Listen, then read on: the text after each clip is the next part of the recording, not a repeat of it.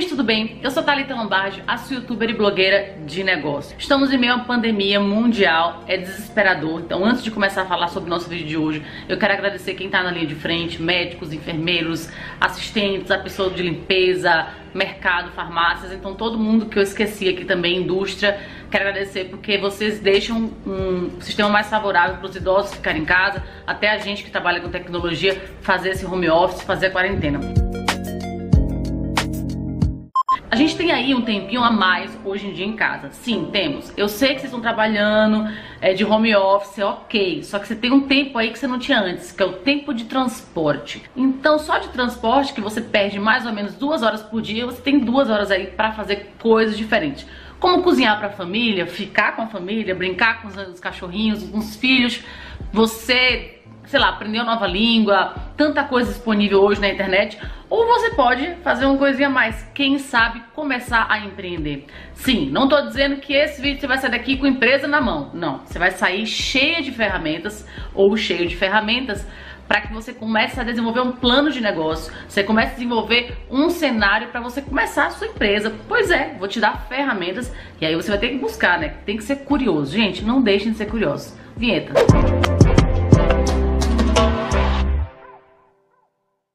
Juntei alguns elementos do e-book que a Yugo lançou, que fala como lançar uma empresa de sucesso, tá? O link vai ficar aqui embaixo o tempo inteiro.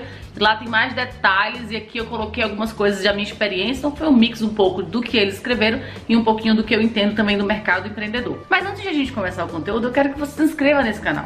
Sim, manhã está sentada, falando mais lentamente, para que mais pessoas possam acessar ao nosso conteúdo, que a gente sempre recebe um feedback ali que eu só falo muito rápido. Mas eu acho que sentada me ajuda, daí só vou ficar movendo a mão. A gente começa nessa primeira interrogação, mas e a ideia? O que será que eu vou fazer?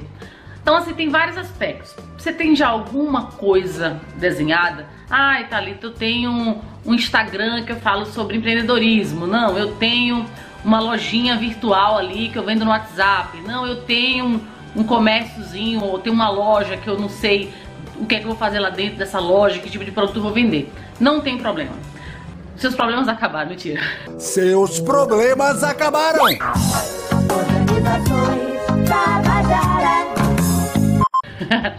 o problema é o seguinte, pega tudo que você tem, todas as possibilidades, ou até áreas de interesse, coisas que você já trabalhou e que você entende muito. Você pode usar também, chamar aquele seu amigo que é muito rato numa área, rata que sabe muito, tá, gente? E é muito rato na área e você pode se juntar com ele fazer alguma coisa e vão sentar para fazer brainstorming. Então você vai chamar esse seu sócio e também, quem sabe, outros empreendedores, outros amigos seus que são, né, que tem uma condição de fazer uma discussão legal com você do que é o que não é. Você pode chamar pessoas mais leigas também, que elas vão te ajudar na visão mais, digamos assim, que não entende do mercado, que de repente ele seja um cliente público-alvo seu, chamar essa galera por videoconferência, se for pandemia, se não for pandemia, pode ser pessoalmente até no barzinho. Sem perder o foco em achar quais são as soluções dos problemas que você elencou e ou então as oportunidades que você falou antes. Brainstorm é isso, juntar um monte de cabeças, um monte de ideias para que você chegue numa ideia pelo menos mais refinada, digamos assim.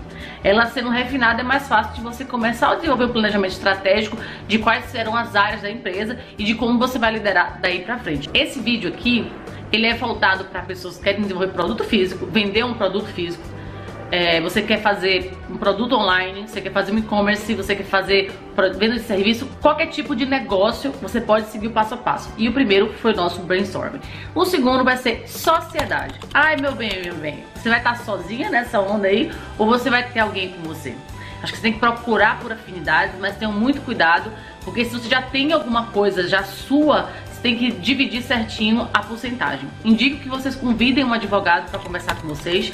Eu sei que é caro, mas essa é a forma mais justa para você não ter um problema no futuro. Eu já tive muito problema com sócio e mesmo com advogado, mesmo assim a gente ainda tem probleminhas. Então imagina sem é uma coisa bem difícil e complexa. Então se cuida desde o começo, porque de boca só beijo e bem dado. A gente não fez contrato social ainda, tá? Eu tô te orientando em você conduzir desde o começo, deixando de forma clara qual é a participação de cada pessoa na empresa. Porque depois que começa a dar certo e que não tem um númerozinho certinho separado do começo, aí vai ser um probleminha gigante. Já vi empresa fechando no começo porque o sócio achou que tinha mais voz, mas ele nunca tinha separado a sociedade com outras pessoas e ele acabou fechando, tá? use esse momento que você já fez o brainstorming, já descobriu qual é o problema que você quer resolver na sociedade, ou que você, você quer ser um representante, vai buscar no mercado quais são as oportunidades, quais são seus concorrentes, faz uma pesquisa minuciosa assim do que você quer desenvolver. De repente tem esse produto ou serviço lá nos Estados Unidos, em algum país que você tenha facilidade de entender a língua, para você começar a identificar quais são os aspectos positivos e negativos, porque não existe nenhuma empresa que só tem aspecto positivo.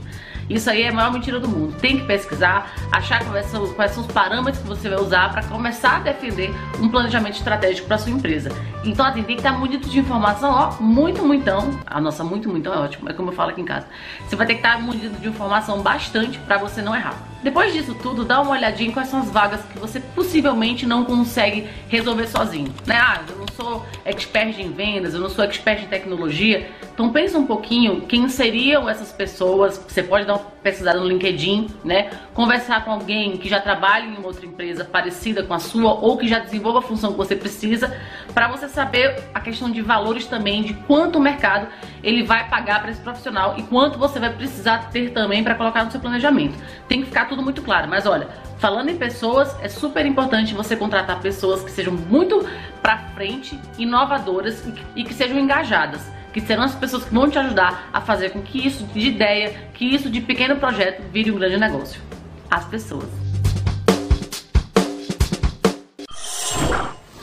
Plano de negócios. Ele detalha não apenas os objetivos da empresa que será aberta, como também a descrição dos possíveis erros e acertos para minimizar os aspectos negativos e exaltar os positivos. Então a gente tem aqui alguns algumas coisas que a gente não pode deixar de pensar quando a gente fala sobre plano de negócios. A descrição geral do negócio, né? Qual é o tipo de negócio, a condição societária, público-alvo, local de funcionamento, horário de funcionamento, investimento, faturamento previsto, metas das vendas, né, de como será o faturamento, modelo de negócio dessa empresa, descrição da sociedade, a gente saber se vai ser um sócio a mais, já tem discutido ali atrás quanto é a cota de cada um, o que cada um vai fazer, a responsabilidade de cada um qual é, né? Porque tem que ter responsabilidade. Não adianta chegar todo mundo, eu sou o dono daqui ninguém faz nada.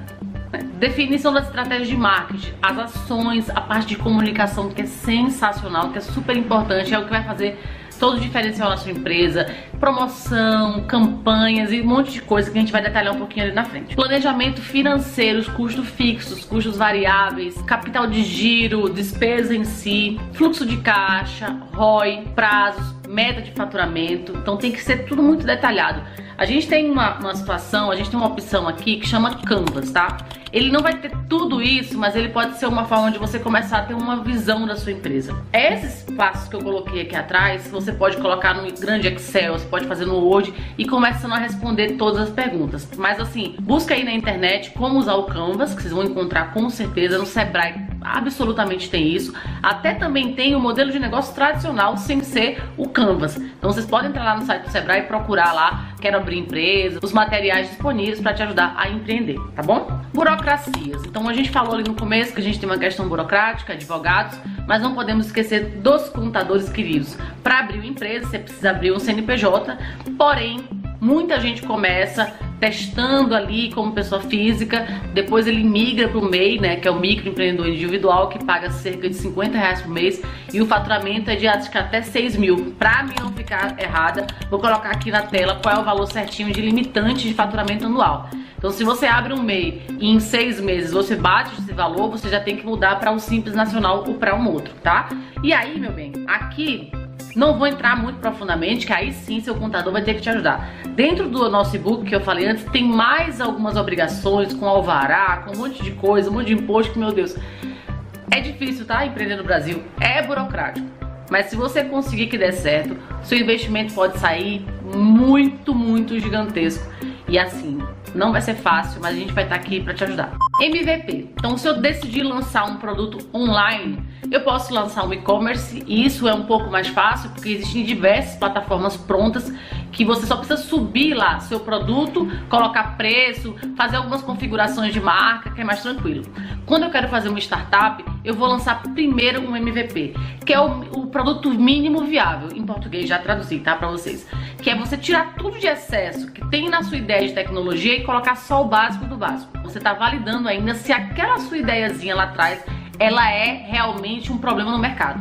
E aí você vai ter diversas formas de validar isso. Você vai conversar com o cliente que de repente usou, o cliente que viu e não usou, né? Você tem todo um tracking online hoje que você consegue fazer as coisas. Você consegue falar em rede social, pedir para um amigo, um grupo testar para vocês e sim pedir todo o feedback possível. E ó, gente, pede um feedback real. Se falar que só que tá tudo muito bom, muito lindo, já não é um bom feedback. Tentem na ferida, tentem linha por linha e vão descobrindo dos seus clientes o que é que tá dando certo, o que é que tá dando errado. Porque se não der certo, pivota. Pivotar é quando você muda o seu modelo de negócio. Tem gente que muda radicalmente a empresa, mantém só os funcionários, os empreendedores, os sócios, pelo perfil que eles têm de garra para começar um novo negócio. Então procura direitinho o MVP. A gente tem um vídeo aqui no canal sobre MVP que é bem detalhado, que pode te ajudar bastante na hora de você testar é, sua ideia tecnológica. Para todo tipo de empresa, a gente vai ter que focar no marketing. Eu separei aqui alguns tipos de marketing que a gente tem usado muito ultimamente, principalmente a galera de tecnologia. A gente começa falando aí, acho que do marketing de conteúdo, que é quando a gente pensa em gerar conteúdo nas redes sociais. A gente tem esse relacionamento muito próximo com o nosso cliente, com o nosso usuário, com o nosso cliente B2B também, as outras empresas. A gente tem aí dentro do marketing de conteúdo, os blogs que nos ajudam no SEO, né? Que você tem uma busca orgânica do Google, você coloca lá o nome Menina Executiva, vai aparecer no site primeiro. Então isso é trabalhar o SEO da sua empresa. Você, quando alguém buscar algum nome, palavra-chave que pareça com o seu negócio, que vai referenciar o que você faz, ele vai buscar no Google e vai achar você ali nos primeiros. Então marketing de conteúdo te ajuda nisso, mas é preciso de bastante estratégia. A galera de tecnologia usa muito isso hoje em dia, tá? Mas aí tem mais coisa, né? Tem o marketing de influência, né? Você trazer um embaixador, assim como eu sou da Yugo. Você trazer vários influenciadores falando de você, fazer campanhas de performance, tanto com Google Ads, com Facebook Ads, fazer banners, como você também fazer campanhas de performance com influenciadores, é testar o mercado, o que é que vai funcionar melhor para sua empresa, para o seu negócio. Tem que botar dinheirinho, tá, meus amores? Que não é assim não, vai viralizar. Não, não vai viralizar. Você não é o caneta azul que já, nossa, nem durou um mês, já desviralizou. Caneta azul, azul caneta. Ai, cale-se, cale-se, cale-se, você me deixa louco. Daí a gente tem os nossos tradicionais branding, né? Vamos falar bem de mim, vamos trabalhar essa, esse meu nome aqui para as pessoas conhecerem. E eu tenho também o marketing offline. Quem sabe eu vou colocar um pouquinho de dinheiro em evento, enfim. Mas ideia para propaganda, tem as ideias de marketing viral. Eu não vou entrar em tudo isso. Estuda em quais possibilidades e aquelas que você entende melhor e já coloca no planejamento estratégico para poder lançar aí maravilhosamente o seu MVP, o seu produto ou o seu serviço para as pessoas poderem comprar. Você vai precisar de uma equipe de vendas para suportar a equipe de marketing. Ou eu, equipe de marketing que suporta de vendas? Ah, moleque!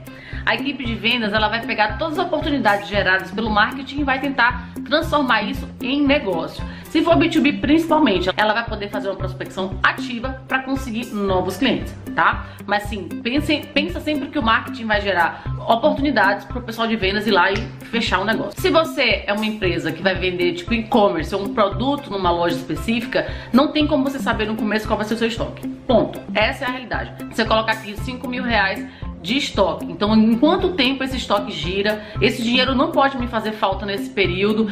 É sempre testando, observando e descobrindo qual que é o time certo para fazer novas compras. Ou fazer uma parceria com o fornecedor que ele vai te entregar assim que você precisar, que é o sonho, né? Meios de pagamento. Hoje no Brasil a gente tem diversas formas que os brasileiros gostam de fazer as compras, né? Então a gente tem boleto, cartão de crédito, cartão de débito, crediário, tem gente que usa cheque, enfim, é um monte de jeito. Eu tô olhando lá pra fora que eu vi uma pessoa na janela ali, desculpa. Eu vou falar de dois meios de pagamento que, logicamente, a Yugo oferece. A primeira é, lógico, o cartão de crédito. Você pode usar via API dentro da Yugo. A gente tem uma API que você pode construir a sua startup para você receber via Yugo, que é super seguro. É um meio de pagamento maravilhoso, intermediador financeiro aí para vocês.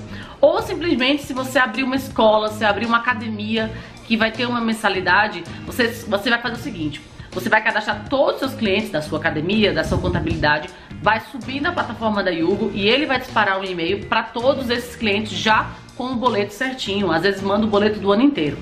Se essa pessoa por acaso não pagar o boleto da sua academia, da sua contabilidade que a Hugo mandou, eles vão fazer uma cobrança para você não ter que se preocupar com isso. Tudo certo, atendimento maravilhoso. É super importante você pensar que são vários passos para você ter uma empresa.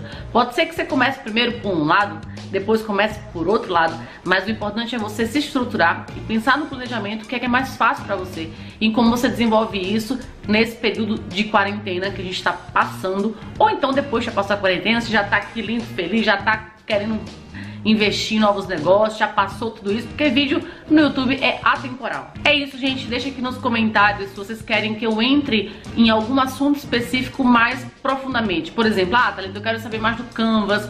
Não, eu quero mais saber de integração da API da Yugo, claramente. Não, eu quero saber mais como estrutura-se vendas. Ó, mais uma dica sobre vendas. Toda primeira quinta-feira do mês tem um vídeo especial sobre vendas. Então vai lá e assiste. É isso, gente. Que mais? Se inscreve lá no canal da Yuga, a gente tem o Yugo Talks, a gente tem o Eu Nunca e nosso podcast está saindo agora, Yugo Cast, com a mãe aqui e com mais dois convidados todas as vezes. Até o próximo vídeo, me segue lá no Instagram, Menina Executiva. Tchau, tchau.